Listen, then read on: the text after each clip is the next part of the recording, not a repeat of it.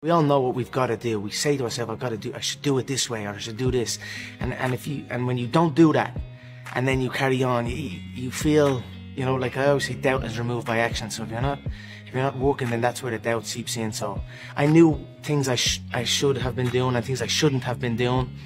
And I still did them and didn't do them, if you, if you, if you get me. And, but now I'm, I'm listening to myself and I've followed my, my internal instruction. And it's just given me more passion and more focus and more drive and I'm doing what I feel I need to do and it's and it feels good.